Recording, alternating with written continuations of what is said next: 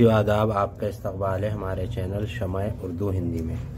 मैं आज आपके लिए लेके आया हूँ टी एम ए नफ्सियात का तीन सौ अट्ठाईस N I S twelfth class का 2023 यानी जनवरी 31 जनवरी 2023 और अप्रैल में जो जमा होंगे वो वाला टी एम ए उर्दू में।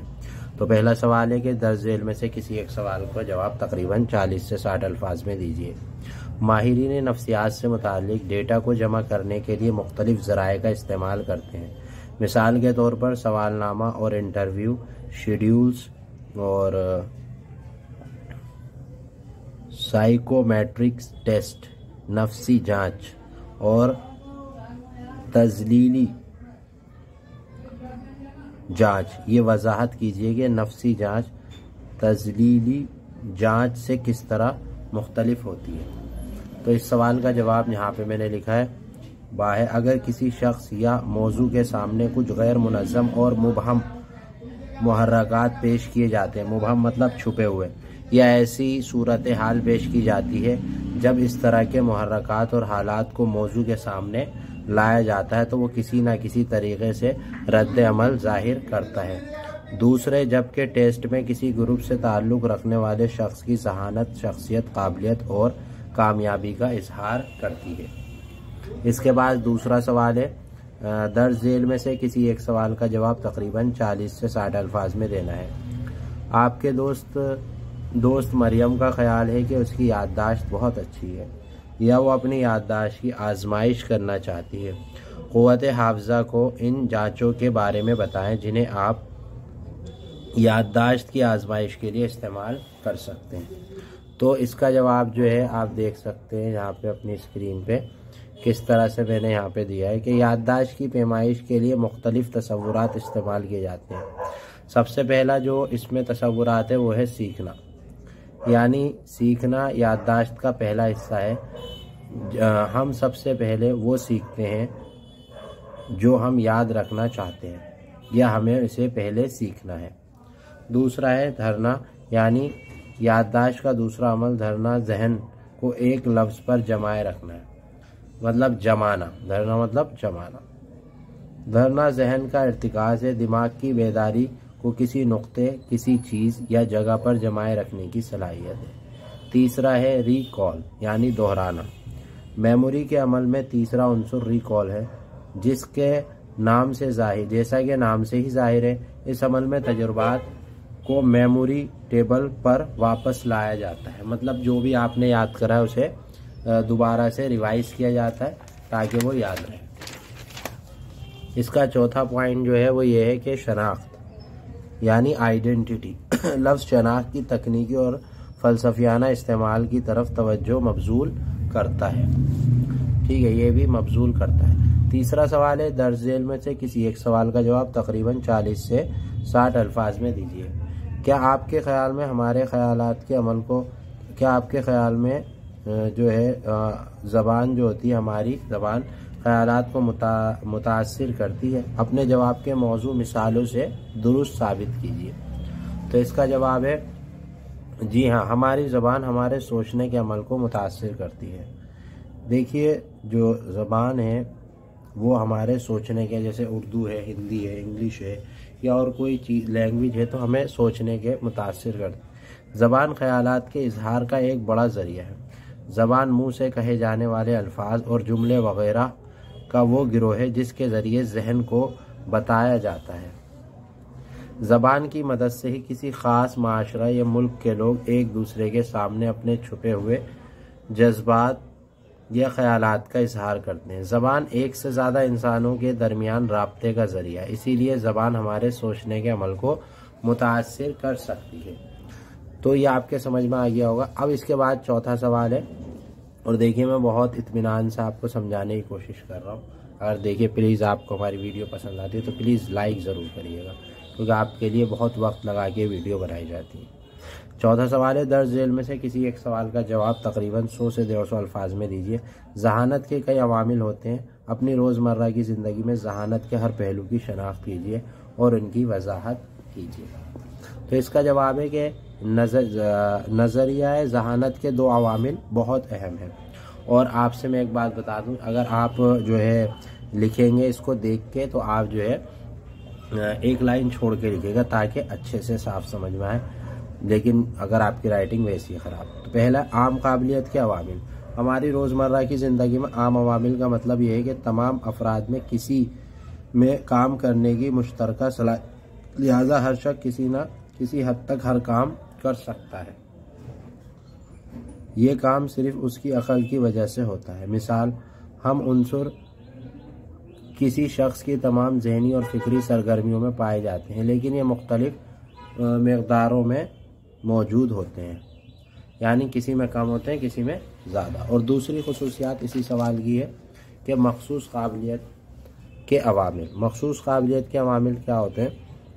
हमारी रोज़मर्रा की ज़िंदगी में मखसूस अवामिल का मतलब ये है कि मखसूस अवामिल, यानी जिसके पास आमिल है, वो जहनी काम कर सकता है। लेकिन इस मखसूस काबिलियत के अनसर के अलावा हर शख्स में एक मखसूस आमिल या मुख्तलिफ़ इकसाम होती है। खसूस अवामिल एक अनसर हो सकता है। हर जहनी अमल को करने में कोई ना कोई खासियत दरकार होती है। मिसाल, किसी मखसूस सलाहियती एक ही ग्रोह से ताल्लुक़ रखती है और उनके दरमियान बाहमी रब्त पाया जाता है।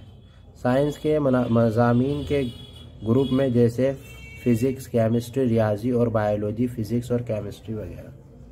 ठीक है? अब इसके बाद चौथा सवाल है आपके लिए। देखिए, मैं अगर समझाने बैठूँगा तो वक्त ज़्यादा लगेगा। इसी वजह से मैं आपको सिर्फ़ ये चीज़ें जो है पढ़ के सुना रहा हूँ कि अगर कोई इमला की गलती ना हो आपकी। पाँचवा सवाल है, दर्ज जेल में से किसी एक सवाल का जवाब तकरीबन सौ से डेढ़ सौ अल्फाज में दीजिए।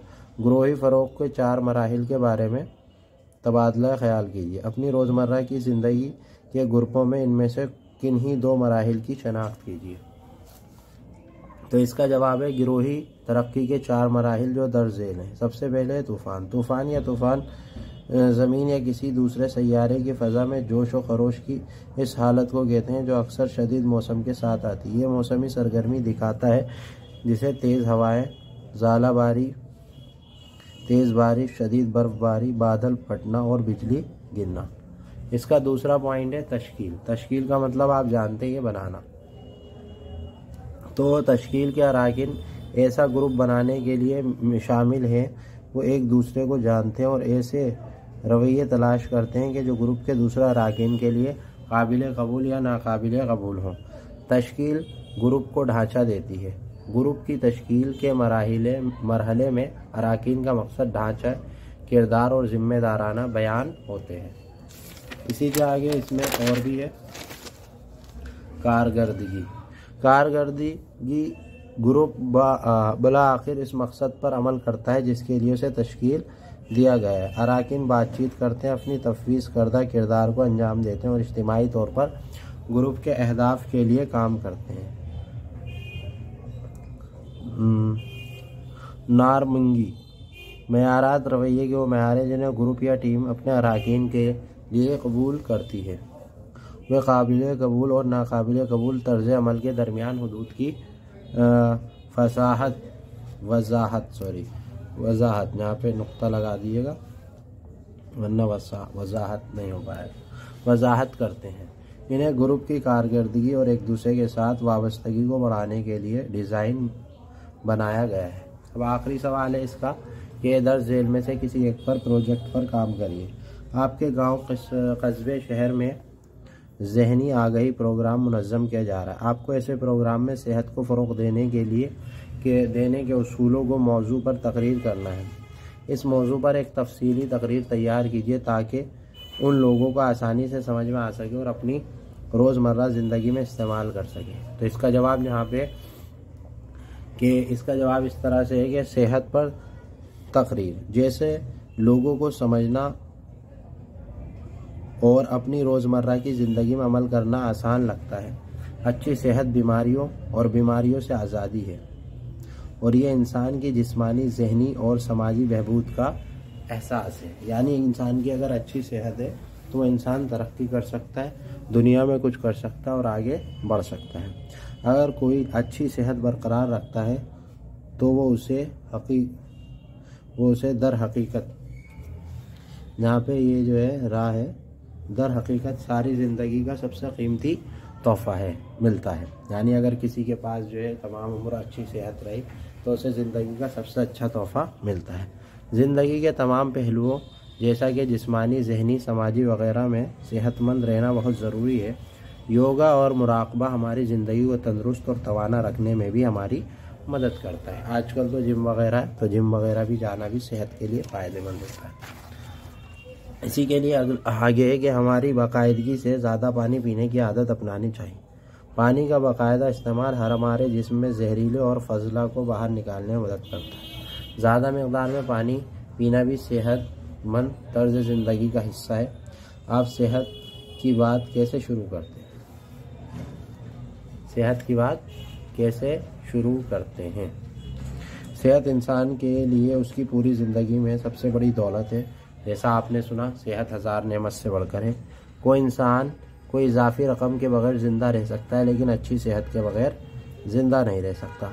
सेहत एक ऐसी चीज़ है जिसे हम पैसों से नहीं ख़रीद सकते, लेकिन हम उसका ख्याल रख सकते हैं। अगर ज़रूरत हो तो उसे पैसे की मदद से ठीक भी कर सकते हैं। सेहत जिस्मानी, जहनी और समाजी बहबूद की हालत है।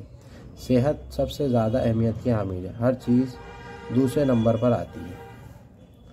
अच्छी सेहत को बरकरार रखने का इसार बहुत से अवामिल पर मिलता है। जैसा हम जिसे हम हवा में सांस लेते हैं, जो पानी हम पीते हैं, जो खाना हम खाते हैं, जिस किस्म के लोगों से हम मिलते हैं और जिस किस्म की वर्जिश करते हैं। तो ये यहाँ पे पूरा हो गया आपका। टी एम ए मैंने बना दिया नफ्सियात पे, उर्दू में। बहुत सारे लोग मांग रहे थे। अगर आपको इसकी पीडीएफ चाहिए, प्रैक्टिकल बनवाने हैं, आपके एड्रेस पे पहुँच जाएँगे।